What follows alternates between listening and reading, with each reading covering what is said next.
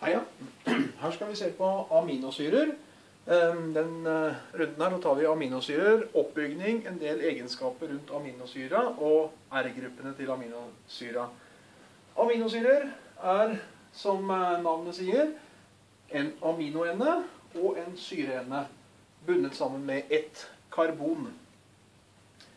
Eh, viktige ting her å få med seg er at eh, det som skiller aminosyrene, de 20 forskjellige, det er den R-gruppa.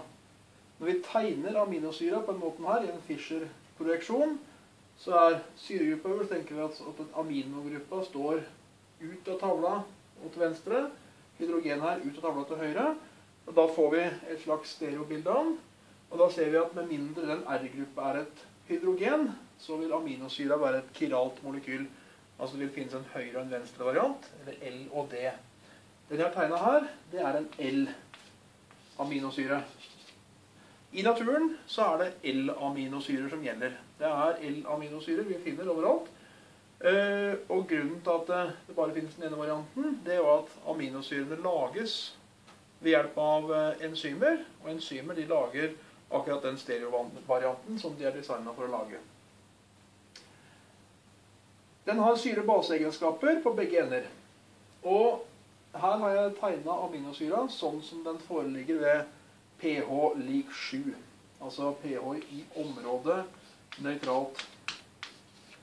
Da foreligger aminosyra som et svitterion. Så tenker vi oss at det er løst i vann.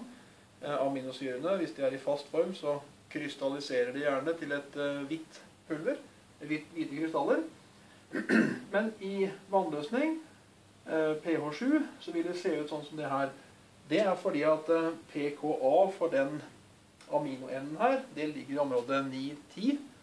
Altså, det gir, gir, ikke fra seg det ekstra protonet før vi kommer um, i det pH-området.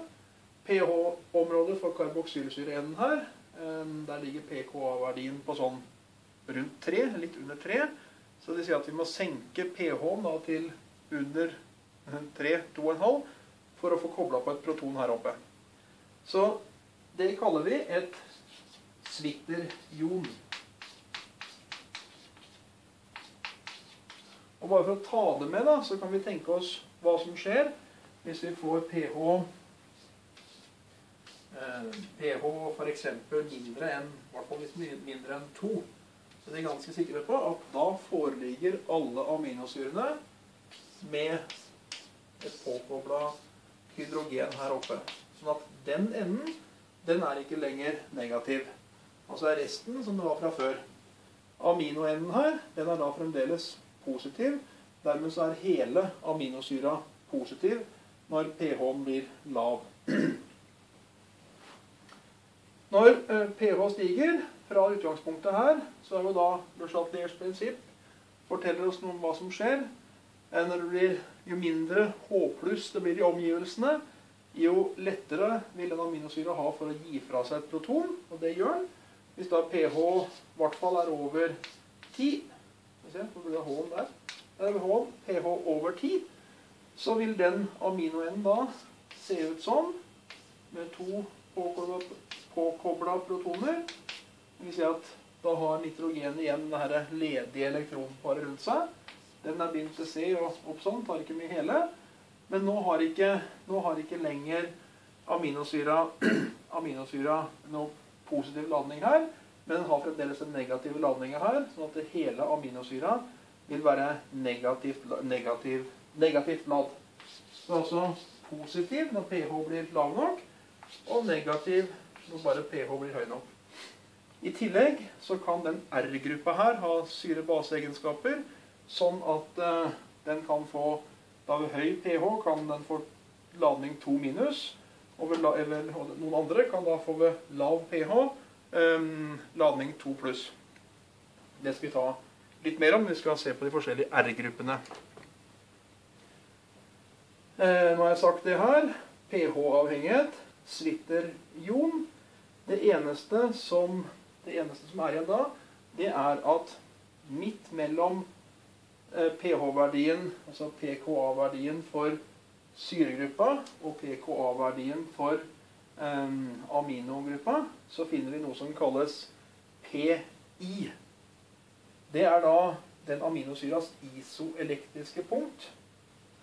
Når R-gruppa ikke har noen syre-baseegenskaper, eh, så, så, vil så da PI være midt mellom PKA-verdien for den og PKA-verdien for den. Men poenget med PI, det er altså den pH-verdien der hvor aminosyra er nøytral. Og Det er viktig i forhold til, i forhold til en del ting. I forhold til f.eks. For elektroforese, hvor en putter aminosyrer oppi en sånn gel. Og så setter den på ladning på den gelen, sånn at noen aminosyrer vandrer mot den positive enden. Noen vandrer mot den negative enden. Det er en metode for å skille aminosyrer.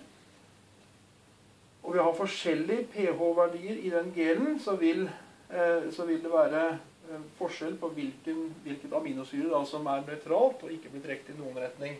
Og hvilke som er positive, og hvilke som er negative. Mer om det etter hvert. Men altså positivt ved lav pH, nøytralt når pH er lik PI isoelektrisk punkt, og negativt ved høye pH-verdier. Så skal vi se på de forskjellige sidegruppene, R-gruppene, hva de kan være for noe. Jeg har ikke tenkt å ta navnene på dem her, men skille dem på kjemiske egenskaper. Fordi at aminosyrene skal jo settes sammen til proteiner. Og proteinene de kan ha veldig mange forskjellige kjemiske egenskaper. Og for, um, noen steder skal proteinet f.eks. bindes til fett. Da må du ha en hydrokarbontype R-gruppe. Noen steder så skal proteinet kanskje være mer hydrofilt, altså binde seg til vann, eller være lett, lettere å ha kontakt med vann. Da vil det være lurt å ha en polar R-gruppe på det området på proteinet. Men vi skal dele dem inn, og vi skal snakke om eh, vi skal si at vi først har noen som er upolare og Eh, delvis fem grupper. Upolare og alifatiske. Alifatiske eh, betyr rett og slett at de er da en, en alifat, altså en alkylgruppe. CH. Eh, F.eks. metyl, etyl Det kan være, kunne vært veldig mange sånne, men det er bare C-er og H-er. Altså en sånn hydrokarbontype ende. Så er det noen flere som, er, eh, som kan være polare eller upolare. Det er de sidekjedene totallsgruppsatara, det er de sidekjedene som inneholder en aromatisk ring. Altså en, en, ring som vi da noen ganger tegner sånn, med en ring inni. Noen ganger så tegnes den sånn, med alternerende dobbelt- og enkeltbindinger rundt i ringen. Poenget er jo at eh, her er det eh, ett hydrogen mindre per karbon enn det ville vært hvis den ikke hadde vært aromatisk. Altså hadde det vært eh, Dette her er da benzen, C6H6. Hadde ikke den ringen vært der, så hadde det vært psykoheksan, som er C6H12. Som er to hydrogen på hver. De aromatiske de kan være upolare, eller de kan være polare. Det er avhengig av hva for noe mer enn den aromatiske ringen som er til stede. Tre. Der har vi de eh, Vi ser nå. Vi ser på polare, nøytrale sidekjeder.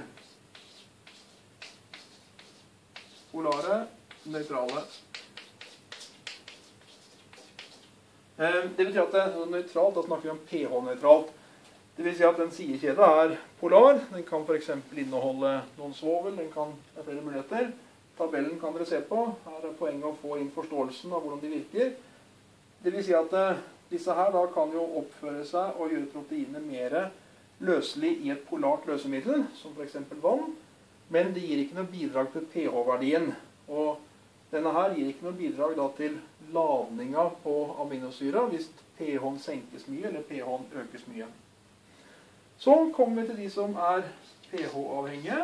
Og Da er det selvfølgelig to varianter. En sur og en basisk eh, variant.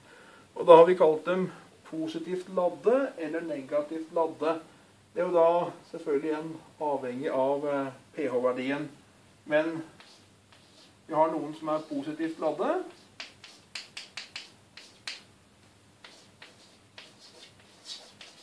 Det vil si at de ligner på denne amino-enden her. De inneholder den um, NH2-gruppa med et ledig elektronpar som kan ta opp et proton hvis pH-en blir høy nok. Så hvis det er en positivt ladd eh, er kalt der, positivt ladd, kan vi skrive parentes, ved høy pH,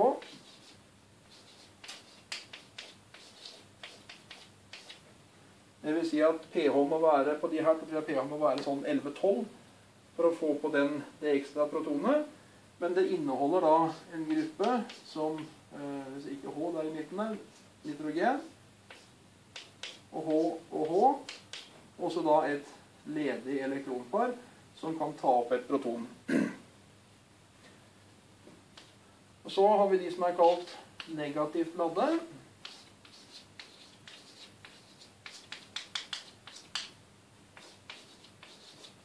Det betyr at den R-gruppa har noe av de samme kjemiske egenskaper som her, nemlig at det er med en karboksylsyre.